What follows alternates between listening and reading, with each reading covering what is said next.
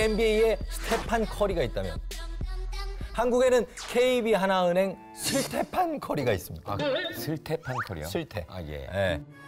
SBB가 뽑은 KEB 하나은행의 에이스 3점 슛점 쏘는 그녀 강이슬 선수입니다. 예. 지난 2014-2015 시즌 정규리그 MIP 기량 발전상을 수상해 차세대 슈터로 주목받던 강이슬 선수. 2016년에는 가장 어린 에이스라는 칭호로 정규리그 35경기 모두 선발로 출전해 여자 농구 선수 중 가장 많은 시간 동안 코트를 누벼 KB 하나은행의 중심 선수로 우뚝 섰는데요. 그녀는 2016년 정규리그에서 64개의 3점 슛을 성공, 슬테판 컬이라는 별명을 얻기도 했습니다.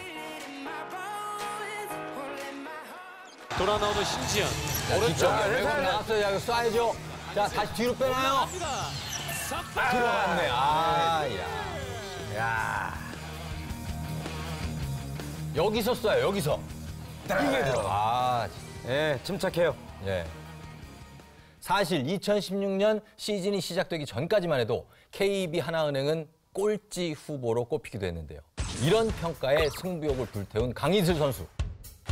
끊임없는 노력 끝에 그녀는 누가 뭐라 해도 리그 최고의 3점 슈터로 올라섰으며 그녀의 활약으로 KB 하나은행이 꼴찌팀이 될 거라는 예상을 보기 좋게 깨뜨렸죠.